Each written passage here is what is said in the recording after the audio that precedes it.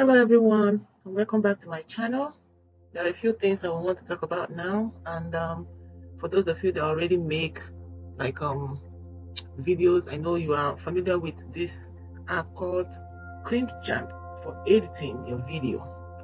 You guys know that I make faceless videos, whether it's cooking or other DIY content. I always make it faceless, and by so doing, I have to you know edit with so many things but I, I have another channel where I make content for storytelling, children's stories, children rhymes, and all that. Microsoft app where you can edit videos and you can record, you can do text to speech.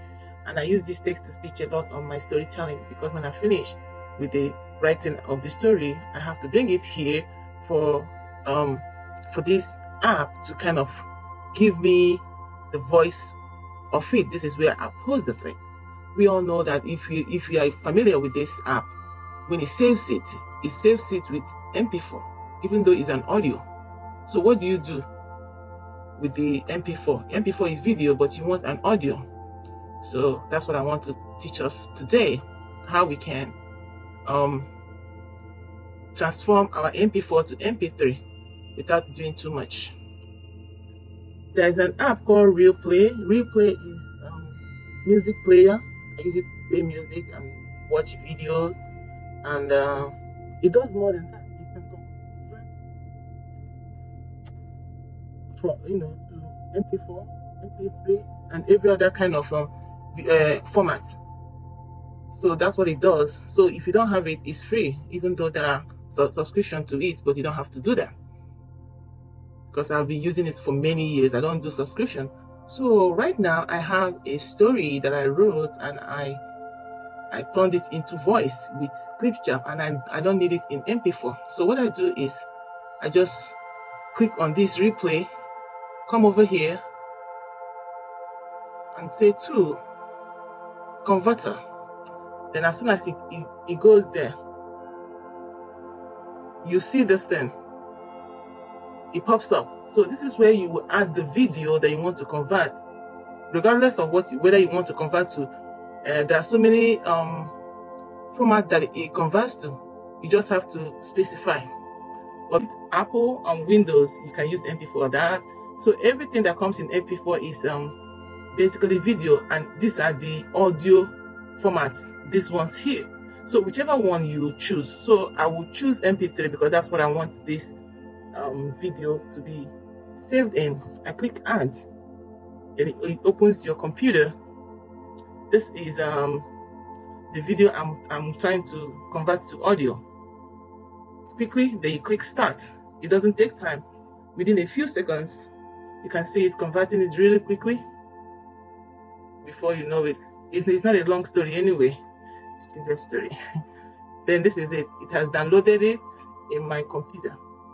So I can just say, okay, then close. So I will go to my file and look for that. This was the one I um that was that originally was in MP4. You can see these two sides. That shows that it's video. These ones that are here, these ones that are here, let me highlight it. All these ones that are here, they are audio. So I have to look for the, that audio. This is the audio that I just created. So if I'm going to upload it in my video, it's going to come as audio, not as video anymore. So let me just take a listen. I'll open it, right click.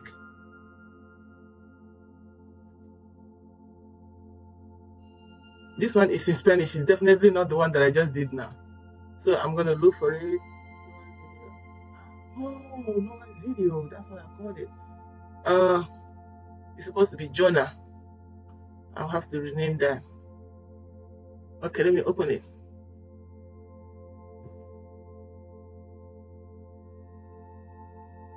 You can see it's now in audio with this um with this highlight here showing you that this is a music or audio, not a video. But um it was on this format which is MP4. MP4 but now it's in MP3, which is what we did with the uh, RealPlay. I'm not trying to advertise RealPlay. It's just a cool app that I've been using for many years. If I have any audio to listen to, that's what I use. If I have um, video to watch, that's what I use to watch video. And what it does, it also um, saves all your images that is on your computer in that place. So when you open Real Player,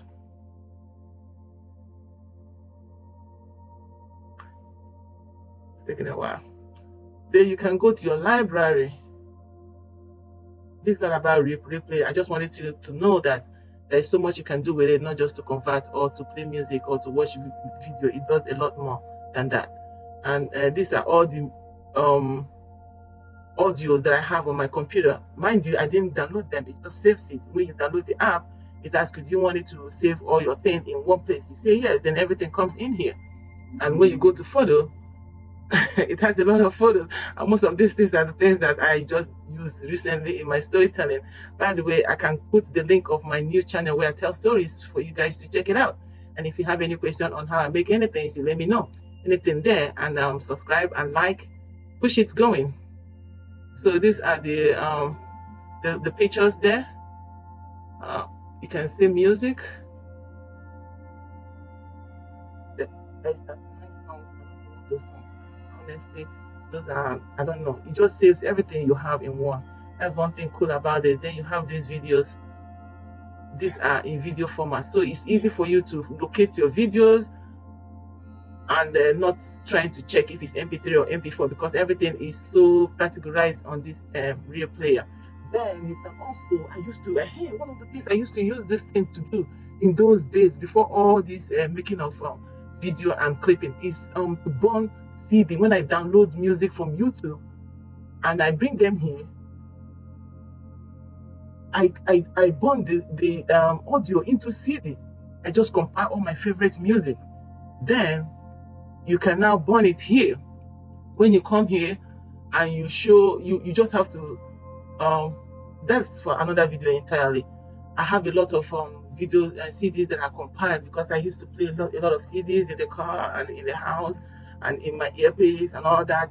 And there was nothing. This thing has been been around for a while. So I have a lot of CDs I use this thing to burn. Use it to burn CDs and DVDs. Use it to play CDs and DVDs. Use it to burn music that you have here into your CD. So, and you can also use it. The fact that you use it to convert your audio to um, uh, uh, your video to audio is even another good thing that it does for me, which I, I always do. Because when I download um, music from YouTube, I I um use this thing to convert it to MP3, then burn it into CD.